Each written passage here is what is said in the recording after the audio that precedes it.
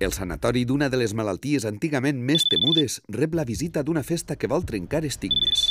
Estem a la vall de la Guad, a la Marina Alta. Esta història va passar així.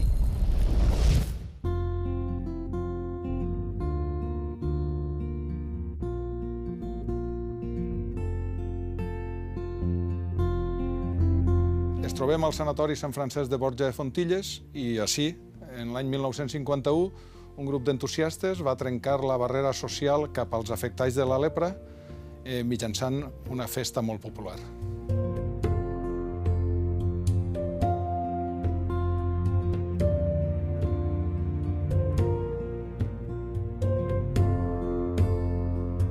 La lepra es una enfermedad que provoca eh, un daño cutáneo en la piel, aparecen manchas, aparecen bultos y luego el problema más importante de la lepra es que aparecen alteraciones en los nervios. ¿no?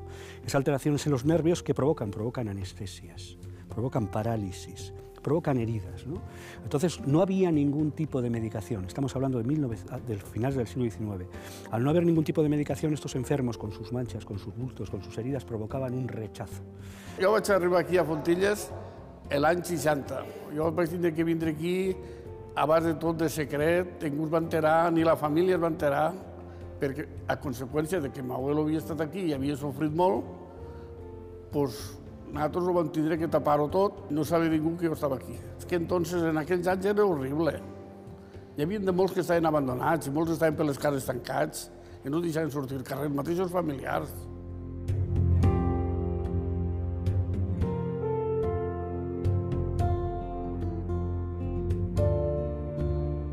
Mi padre, Adolfo Bernabéu Espí, junto a un grupo de amigos suyos de Alcoy, fueron los promotores y fundadores de la Peña Fontilles de Alcoy.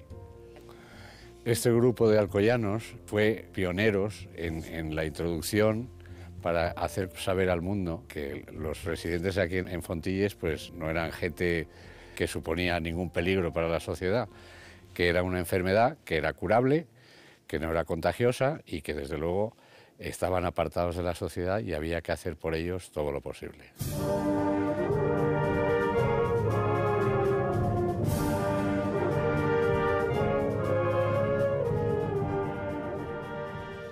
L'any 1951 va ser la primera volta que les festes d'Alcoi van eixir de la ciutat, van aconseguir el permís de l'Associació Sant Jordi per a vindre a fer la festa així, al Sanatori de Fontilles, que el que fan és trencar un tabú. Val? I, I, de fet, en Alcoi es comenta molt, a Fontilles era com una cosa molt perillosa, no? Hi havia lepra. Recorde que jo estava agitat al llit a, a l'infermeria i van vindre i portaven unes bosses grans, els moros, i me van omplir la mesita i el llit tot ple de caramelos, de sabó, de tabaco, de colònia. Allò era un desfiladero. I la música estava per aquí i tocaven en aquella edat el Mostafà. ¿Cómo, cómo decía?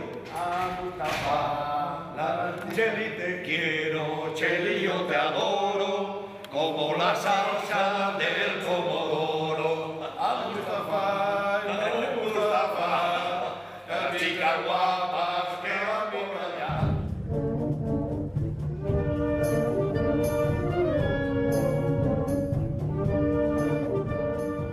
Fue muy importante la llegada en el año 1951 de la gente de Alcoy. ¿eh?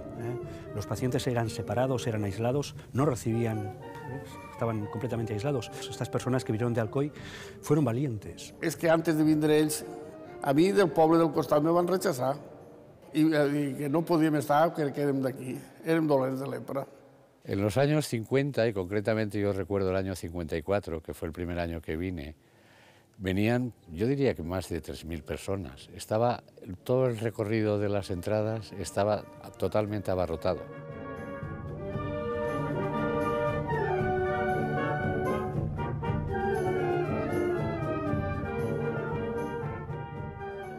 El missatge és que es pot ser solidari, que es pot, ser, es pot ajudar al pròxim, es pot a partir de, de l'humor, de, de la picaresca, inclús d'un poc de gamberrisme, i, i, i això la gent ho agraeix, la gent ho passa bé.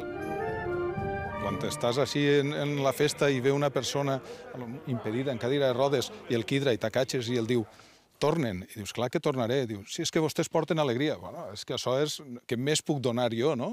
És, és, és tan fàcil i, i tan agraït. Com si fórem una família. És que són molt amables. Dic, el poble d'Alcoi, jo m'emociona.